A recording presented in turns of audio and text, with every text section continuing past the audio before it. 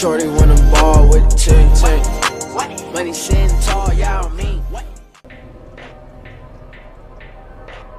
Alright, so step one is you go talk to this guy right here.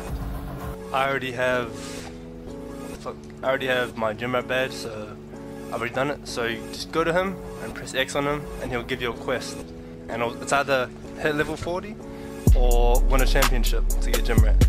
So what you want to do is join a good team, like the Lakers or the Nets. Uh, so you want to play your first 10 games and play them properly so you can um, be a starter.